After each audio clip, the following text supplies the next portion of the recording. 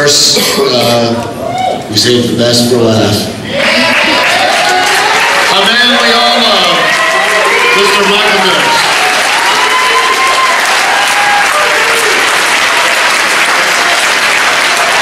I'm gonna keep this really short because Dave would have been bored out of his mind by this point. This is a room full of people that Dave Brockie loved. This was a gathering of people that love Dave Brockie. I don't know if there's a room in the world that could hold us all. But I know that he touched everyone in this room, usually in very, very inappropriate ways. Apologize for that.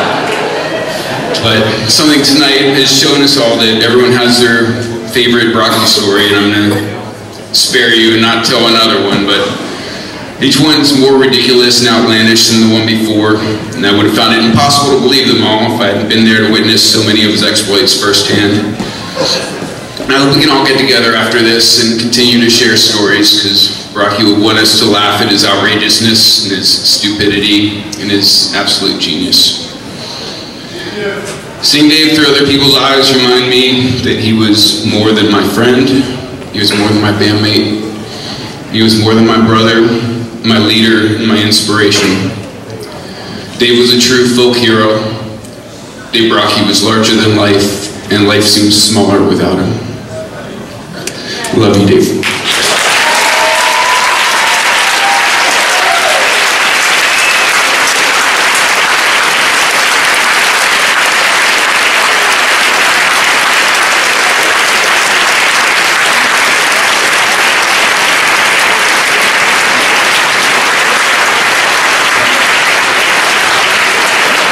And to uh, bring the official end to this memorial, we, uh, it is my suggestion. Usually they do a, a moment of silence, and that just seems so, so horribly wrong.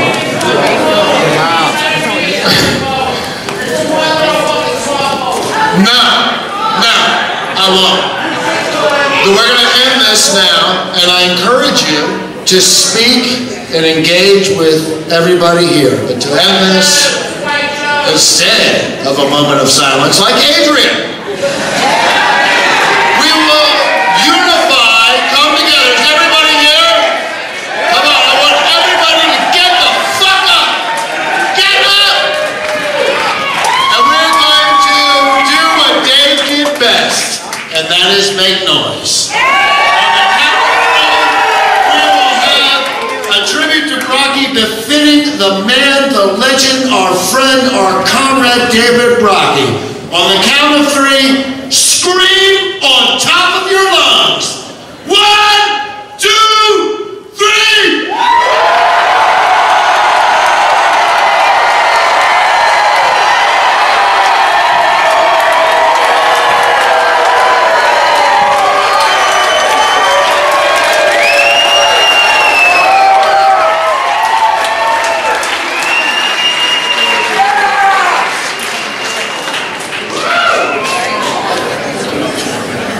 Let's.